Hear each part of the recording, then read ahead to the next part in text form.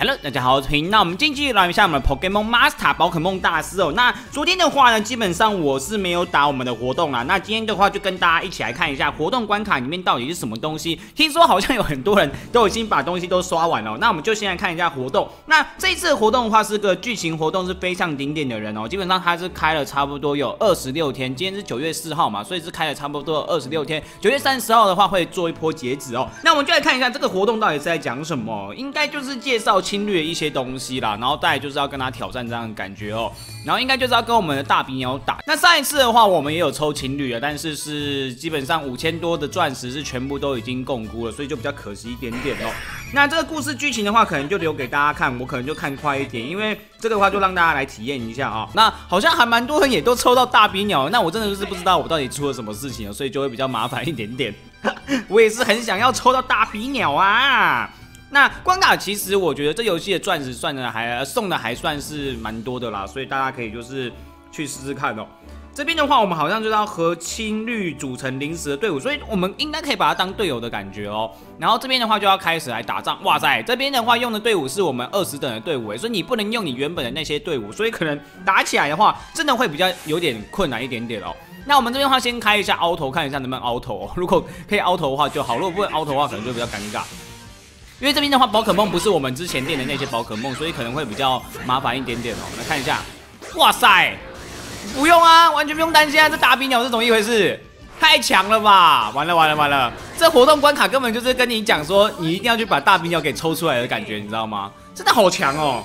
而它的二技基本上好像是一个那个范围攻击招式哎，所以大家如果就是还没有看过大冰鸟一些招式的话，可以来打一下活动关卡，基本上你就可以看到那个活动关卡里面的大冰鸟大概是长什么样子喽。好，这边就是下一个故事哎，所以真的还蛮强的，而且它是两格的那个能量条就可以发一个那个范围型攻击，跟我们雷丘就是不一样，因为雷丘基本上它是三格的技能条会发动一一次那个范围攻击哦，两格就可以发攻击，也太猛了吧！好，那这边的话是另外一个故事哦。那我们这边的话，可能就要先来看一下，就是这个故事剧情到底是有多长哦。因为搞不好其实它也只有开三个的话，可能就会比较少一点点。那这个的话好像是有多人模式，所以待一会我们把这个通关剧情之后呢，我们再来看一下是不是能够来看一下我们那个呃多人的模式哦。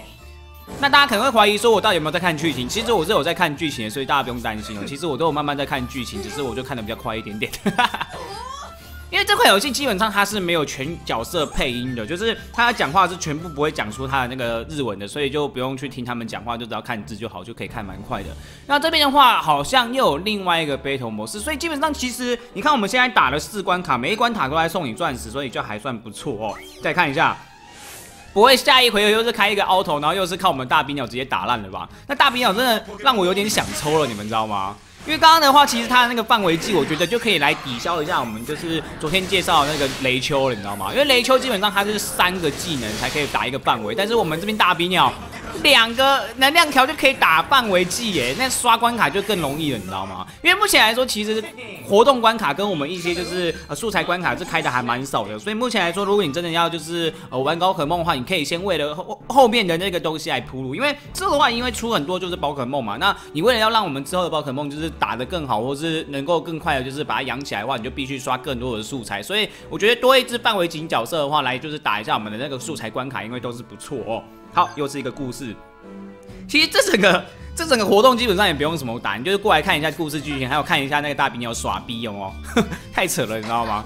大鼻鸟两季就是可以发一个范围攻击，真的是太强了啊，就是可以直接一直刷素材，真的很猛哦，很厉害啊。那像我们这个故事地方的钻石的话，好像是拿十颗啦。然后我们打斗的地方的话，钻石是拿三十颗。所以这边的话，十、三十、四十、四十、十、五十、五十、三十、八十、九十，大概会拿到一百二十颗吧。感觉这个 BOSS 关卡应该又是最后一关了。那这个 BOSS 关卡，我们再看一下是不是能够再凹头下去哦。如果能够再凹头下去的话，我觉得这个活动的话，基本上大家可以凹头过来，凹头过去。那比较需要去刷的，可能就是我们那个多人的模式吧。来看一下啊。哇！结果这边居然是用我们的火焰龟龟啊！不想用火焰龟龟啊！我们继续用我们的那个空气利刃，好不好？Go go go！那电脑 auto 的话，基本上它都会帮你把一大堆那个，就是我们那个就是特性全部放完才会开打。那其实我觉得这一次的话，这一次 boss 应该也是蛮尴尬，因为 boss 这边的话，他们抗的属性啊，就是刚好被我们大冰鸟克，所以大冰鸟这边打会觉得蛮痛的这样感觉哦。所以实际上的话，可能还是要抽到大冰鸟之后，然后带他上场之后，才知道他到底厉不厉害哦。这边的话，我们可以看一下拍主招式了。那昨天有让大家看一下我们拍主招式了，然后基本上是还蛮帅的。看一下名字，世界最强就是暴风，就，直接把怪力六七八，其实也还好。伊卡露斯啊，不是不是伊卡露斯，卢卡利欧其实我觉得会比较帅一点点哦。百裂拳，哦，好还好。这边的话，我们这个活动的关卡那个角色全部都是二十等的啦。那这样被打其实也没有说很痛哦，所以代表对面的王应该也是还蛮简单的。所以大家不要看到哦，大比鸟现在很强，就拿去打一些就是一叉关卡或是一些比较麻麻烦关卡，发现哎怎么都打不赢这样子，也是 也是会比较可怕哦。哎，可是这边的话，我们就是使用了我们拍主技能之后呢，这边会多了一招叫暴风哎。所以这边的话，我们就会直接使用这个暴风哦。所以它跟我们的那个路卡利欧一样，就是有一个新招式这样感觉哦。来看一下暴风的话呢，六百九十五应该还不错。所以它也是就是会之后会变形的，变形的话会有一些就是新的招式、新的技能这样感觉哦。就感觉哇，好想要哦，完了，怎么办？越看越想要大比鸟了，我的天！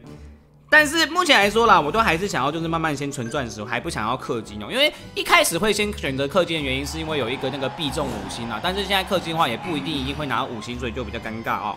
好，这边的话应该是把我们的那个活动全部打完了。对，全部打完之后呢，来看一下是不是有地方可以刷，应该是要开始刷多人的感觉吧？哎，还有哎，居然是还有哎，那就继续打啊。可是这边哦，等级提高了，三十五，哎，那看来这个活动真的还蛮长的，而且很长之外呢，又有很多钻石，所以算是还蛮送的啦。基本上这款游戏它的宝可梦送很多，钻石也送很多，主要来说就是要耗费大家一些时间去刷一下关卡，所以可能会初期我觉得都会比较乏味一点，毕竟这款游戏才刚出嘛。那大概可能就是要再等一段时间才会知道这款游戏主轴到底能够玩什么东西。因为如果之后有开一些就是队伍对战的话，或者跟其他玩家对战的话，我觉得应该会更好玩。因为目前来说就是只是让大家一直在刷我们的宝可梦的素材而已。那基本上如果呃初期的话，嗯，初期现在选择的话，我觉得就是比较少一点点，所以后期要看一下，就是之后会多出什么新功能之类的，那个可能是我比较期待的。不然目前来说的话，大概就是每天开个手机挂挂台这样子感觉哦。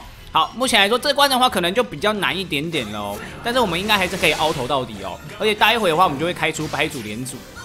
好，牌组连组开起来之后呢，我们的二技啊就会变成三个技能条的那个暴风哦。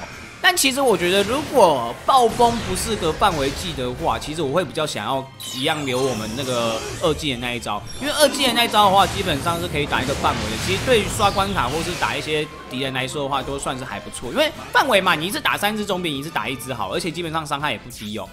而且基本上我觉得，其实三个技能条真的要等超久的时间，除非你有一些就是帮忙，就是加一些那个我们技能条的角色。但是你看 auto 的话，它是不会帮你加的啦。我看来这边的话，不知道可能要自己控制喽。看一下啊，暴风刚刚是没有打出去啊，所以暴风命中率也是颇低，是不是？哎，真的哎，暴风其实命中率没有很高哎。那那我应该不要开拍组才对啊，因为你开拍组之后呢，大冰鸟的那个命中率变低，而且又不能打范围了，这样很容易被打死死了。好了，看来这边要手控了，尴尬一波。可是搞不好皮卡丘可以打赢哦，不要小看我们小皮丘哦，加油！直接背后踢不行，输了。所以这关的话，我觉得应该你就一直开我们那个就好了。那这关的话，应该是不能 auto 了。这最不知道是不是最后一关啊？这个的话呢，这一关的话是没办法 auto，因为它 auto 的话，他会帮你开牌组之后呢，拍牌组之后，它就帮你自动就切换成我们的暴风了。那看起来暴风的命中率是颇低的啦，所以就打我们这个并肩作战侵略这个呃关卡的时候呢，就记得就是不要再开 auto，因为 auto 的话，基本上它会让你死到很惨哦。好，那我们这边的话再打一次哦。基本上的话，应该就是一直开范围机就可以了啦。然后开组的话，给皮卡丘开哦。空气利刃就很够用了，说真的。而且基本上它两两条技能条真的是有够好用，你知道吗？好想抽哦，我的天！用了之后就觉得，感觉拿来挂机打我们那个素材应该很好用哎。我们来看一下能不能帮他特空强化一下。可这些好像都是强化自己的。来来个放买过来，然后直接开空气利刃。那中间那只的话呢，其实我们慢慢打还是打得赢啊。先把左边的那两只都先打掉，打掉之后，其实把这两只杀掉之后呢，可以再开拍组，然后用那个暴风。但是我觉得暴风基本上它的命中率是颇低的，所以我可能就不会用。那我们这边使用皮卡丘的拍组，然后再继续用我们那个大比鸟的那个攻击来打它，尽量增高自己的那个输出量哦。然后我们就继续等。那目前来说的话呢，我觉得啦，我觉得目前来说那个什么，我觉得暴风的话命中率是真的不低，尤其是刚刚那一场直接两下没中，真的就很伤。但是如果中的话，应该伤害会颇大的啦，所以大家就是自己去衡量哦。但是我是觉得这个二倍的这个就很够用了，三四九已经蛮痛的哎。而且如果我们是把它抽到，然后放在我们队伍上，再加上我们彷徨夜莲那些招式的话，应该是可以打出不错的伤害哦。我们火焰鬼会不会被踢死了，不过没关系，这边空气利刃应该是可以把它给打死，没有问题。唰！那不知道这一关是不是最后一关哦？来看一下吧。哎，那这边的话上面还有哎，所以哎。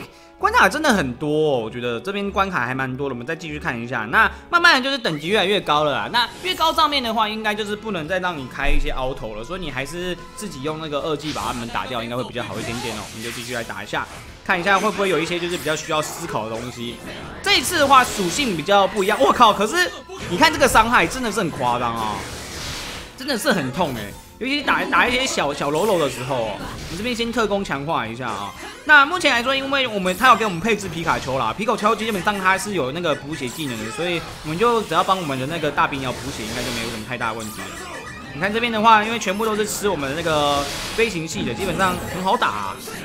而且我们这只大冰鸟好像是第一只那个飞行系的五星角色吧，感觉是这样。我记得的话没有错的是，应该是这只。这边的话三二一有点有点有点有点痛哦，而且对面的话要放拍组，我们先放皮卡丘的拍组，对面好像先放了，格斗冲击冲谁？啊？又是我们火焰小龟龟，然后这边的话呢，我们是还有留的血量，所以应该没有问题哦。皮卡丘打雷，唰！电死你，两百七十，有点有有点不痛，刚刚我们这边有伤药啦，所以是待会我我们大兵鸟快要死掉的话，我们可以使用它。因为目前对面的这只王也是，哦呦，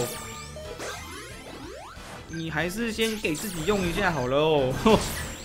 哇，这关的话可能就稍微就比较难一点点，所以我觉得后面的关卡应该就会再变得再更难一点点哦，就是不会像我们一开始可以凹头下去，这关可能你真的要自己扣，因为如果全部都用我们的那个的话，用我们那个暴风的话，应该没有命中的话，真的会很伤哦。可是我觉得如果快他快死的话，我们是应该可以用一些暴风。完了，我觉得这边。感觉不能这么打喽，因为你看我们目前来说的话，这样子两倍真的是太低了。可是他这边又不能让你换角色，所以就蛮尴尬的。因为他如果能够换一些能够加技能条的话，应该是还好。而且对面的话可能要开拍子了。